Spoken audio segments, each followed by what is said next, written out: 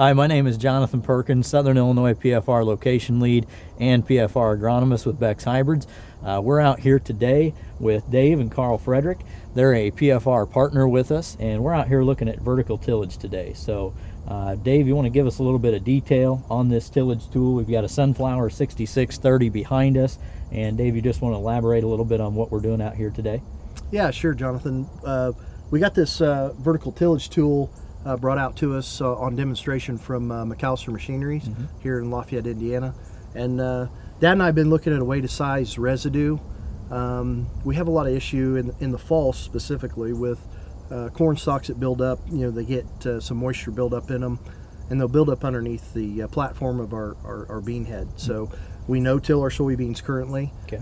with a Kinze planter, with row cleaners, and no-till coulters. we've gotten along pretty well with that system, but you know, staying in between the rows, we have a lot of exposed stock still, and that's where we're running into the issue. So, we were looking at a solution maybe as a vertical till to help knock those stocks down, and then potentially to using uh, bean stubble uh, ahead of our corn planter. So uh, those are the things that we're uh, trying to evaluate with this tool. You know, in general with vertical tillage, what we're trying to do is go out there, chop and size residue, you know, try to help that seed bed in the spring like you're talking about. So uh, there's some other options, you know, like uh, chopping heads, things like that, that we can explore.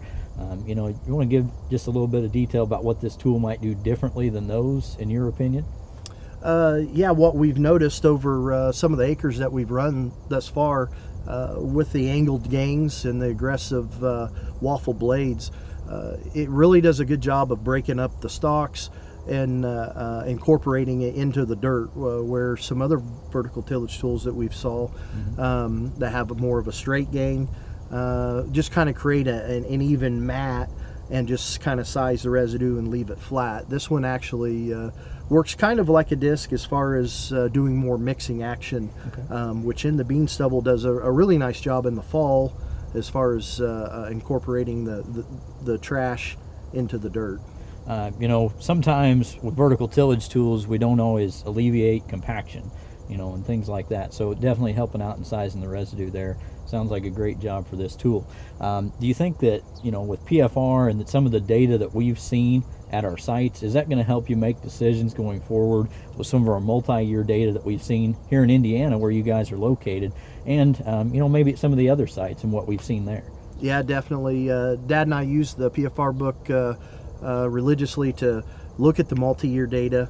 Um, you know, we talk to neighbors, but we also lean on the, the, the guys at uh, Beck's Practical Farm Research to tell us what they're seeing on the, the studies that they're doing. Mm-hmm. Um, so yeah, we're going to be looking at the, the multi-year data, and we're going to be talking to, to uh, some of the PFR directors like yourself and the, the other team members mm-hmm. uh, to try and get a good idea um, if this tool is going to be the right one and what kind of program is really going to fit us long term.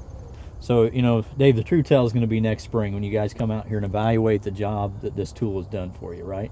Yeah, I think so. Um, for Dad and I, that's where the, the proof's going to be at is uh, the spring, how well we can come in there with a Kinze planter, uh, with no-till coulters and trash whippers uh, to get that residue out of the way and make sure that we've got a nice level surface and we can still uh, do a good job there. Um, uh, and then uh, in the fall, when we come back and we've got our bean platform, we're really looking for something that gives us a flatter surface, knocking those corn stalks down so we don't get as much of that residue coming up into the bean head and also building up underneath the bottom.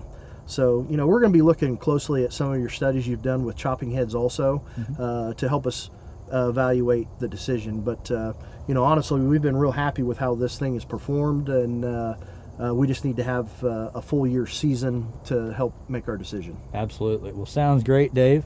Uh, we'll look forward to seeing results from their farm next year and looking forward to seeing more from PFR coming forward. So, this has been Jonathan Perkins reporting uh, with our PFR report from the field today in central Indiana.